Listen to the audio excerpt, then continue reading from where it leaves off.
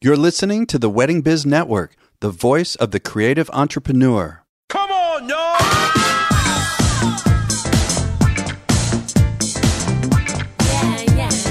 Hey, everybody, it's Andy Kushner, host of The Wedding Biz, and this is another episode of The Next Level, in which I have a guest co host, and together we suss out some of the highlights of the interview of the week and talk about them in a way that you could hopefully uh, take some advice and some tactical strategies to use to bring your own business to the next level.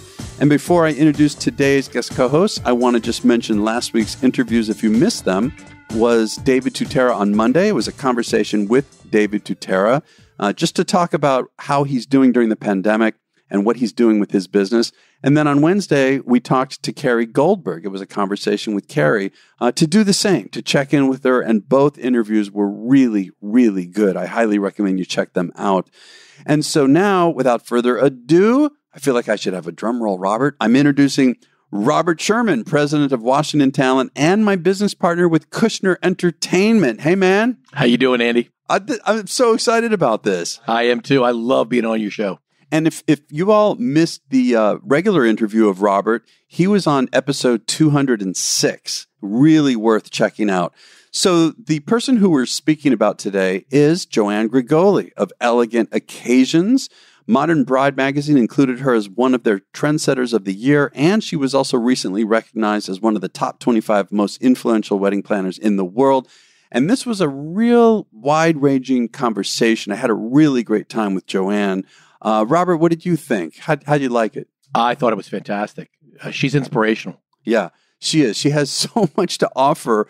Uh, I mean, she's really one of the first, if not maybe the first destination planner. She, you know, she's a pioneer. Oh, absolutely. The god, oh, with godmother of destination weddings, I think is, is what we what she said about herself. Yeah, is that what she said? Before we hit the record button, you pointed out something that was really funny about what she said in the beginning of the interview. Oh yeah, she had me because my favorite movie of all time is Wedding Crashers, and she, I think she was the original Wedding Crasher. She, yeah, the movie was based on her. yes, except that she said that she didn't care about the buffets. I I, I would have cared about the buffets.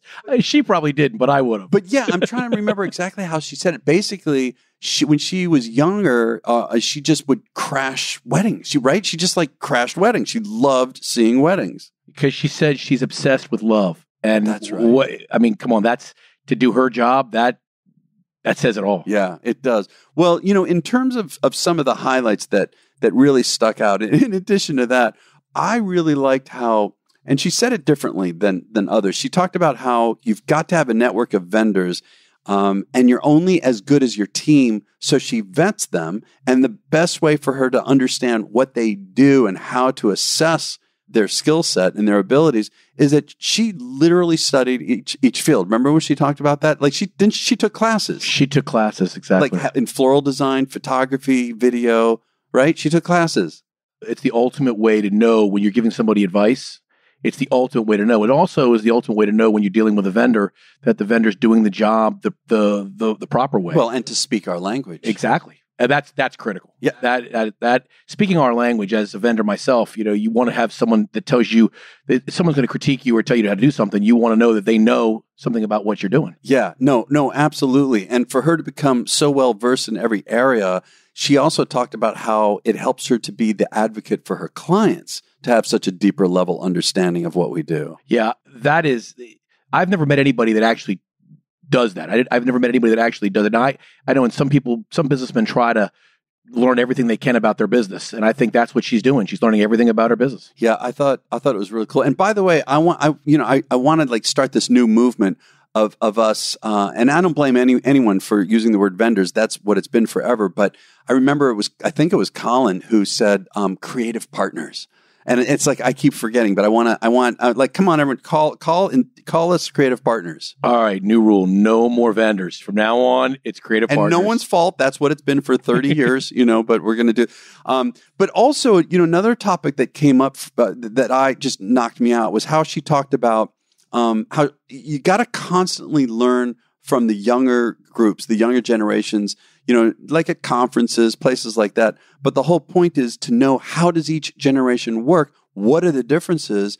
So that we know how to market to each because you can't market the same way anymore. A- absolutely. You know, it's it's like like I think she re- referred to the millennials. They're into philanthropy and they're into um, you know Airbnbs versus maybe the baby boomers, which are into you know uh, The hotels, Hotels and room they want service. room service, and, right? and again, I don't know about you, Andy, but I don't. I never thought about it that way.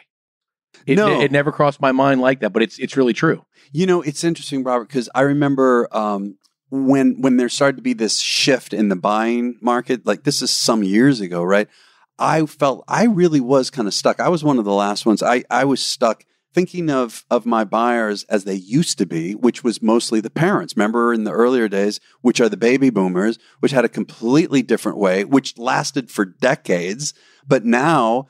Um, they're the parents aren't as involved. They're not even always paying anymore. Well, that's JoAnn pointed that out. Yeah. She said that it's the millennials that are paying, Yeah, right. Or or at a minimum, the parents might be contributing, but, but, they're the, the, millenni- the millennials are the decision makers, Yeah, right, and that's how you got to know how to market. right. and they care less you know it's funny they care less about your your experience and more about what you do for other people right, and, and the good yeah, and the good that you provide the community Yeah, I thought that that that is really what grabbed my attention because I mean, look, I've got decades of experience, but she's absolutely right. When it comes down to it, now when we're selling, that doesn't hold the same level of importance that it used to hold. yeah that was probably one of the most insightful things that i got from the entire um, podcast interview with her was the fact that she was able to separate out the different generations and and really discuss marketing you know we all think about marketing we think Mhm. about marketing it's marketing. Right. we're going to market Right. It's not like that. It's, it's she she really she really brought drove home the point that we need to market to different people different ways. Yeah. and I, and that's a, I think that's a uh, very insightful. Yeah, understanding. Um, I think she summed it up as understanding how they think, and otherwise, how how are we going to be able uh, to sell? I mean, this is how the next generation is buying. We got to understand really what they're thinking, what deep down it is. Do you like music? Do you love music? Okay, stupid questions. Here's the point. You can now hear conversations with some of the biggest music industry professionals around, including artists, songwriters, record company executives, recording engineers, and more. And it's my other podcast called The Music Makers. You can find it on your cell phone's podcast app or at themusicmakers.com. Again, that's The Music Makers. And also, you know, one of the the last highlights I wanted to bring up was I, I loved how she talked about. Uh, well, let, let me reframe it this way. So many of us during this pandemic have obviously we've slowed down. We're all rethinking. You know, what can we do? And there's this big word, reinvent ourselves, right? I'm like, how can we reinvent ourselves? And even for myself, that's how I frame it for myself. What else can I do? How can I reinvent myself? And she said, rather than reinventing herself, she refocused her priorities. And you remember her example. Oh, oh, absolutely. Yeah. I mean, it was all about the masks that she, I mean, I thought that was incredible. Basically, for those of you who didn't hear the interview, and if you didn't, you should go back and listen to the whole thing. But basically, she got together a lot of mothers and they all started to sew and make masks. And she basically has, I believe, I think she said around 500 people sewing around the clock. And thus far, they have made 50,000 masks that they're shipping all around the country. Well, I can attest. She sent me some masks, and Oh, yeah, I currently I wear a JoAnn mask, and uh, I'm proud to do it. The sewing angels, they are angels, Yeah. and uh, I'm proud to wear it. And you know, she started this, you know, I guess to protect. You know, you know she's got the six children. Yeah. More power to her. That's amazing. Yeah, that's amazing. I know. I have imagine. four, and I can't imagine. Four. I've got one. I can't imagine Uh, three. She is an incredible person, Yeah. and and you know she was protecting her daughter who's on the front oh, lines. that's right. and that's how she started this. But you know, I think it really gave her, it refocused her, and uh, and I, I think it was a great thing. Which I think what she's doing is fantastic. Well, and she also talked about how she's helping people um, in homeless sh- shelters, especially women in homeless shelters and battered women, which Yeah. was really moving to me. She did mention her GoFundMe page, and uh, we're- I again, I'm I, I know I'm gonna I'm gonna donate to the GoFundMe page. She mentioned it for to help support you know the the shipping costs that she has for the masks. So she has a, a page set up. Uh, I highly recommend people to go to go give to that. I know after hearing this, I didn't know she had it. I'm going to go give something for it. Yeah, it's it's uh, just so everyone knows, it's sewingangels.org. Again, sewingangels.org. And the GoFundMe that's listed there is called Frontline Sewing Angels. Did I get that right? Frontline Sewing Angels, um, which is really to help defer the shipping costs. Exactly. know? Because she's she doesn't charge anything for this. This is all done with her and the volunteers. Yeah, I mean, and you know, you could tell, I could tell the passion with her. I mean, she talked about how she's really feeling useful, and again, to me, that was just it was a different angle on on how most of us, including me, again, are thinking about how do I reinvent? How do I reinvent? Well, it, it makes me think the way she put it. Let me think about what my priorities are. It like there's a difference there. It is. It it it, it is. And I think what she said, she goes, you know, we're we're all going to work again, and you know what what you give back and you'll feel better. And and it, I think we all, I think all of us inside, we know that. hmm It just it was nice to be reminded. And her her podcast interview with you reminded me of that.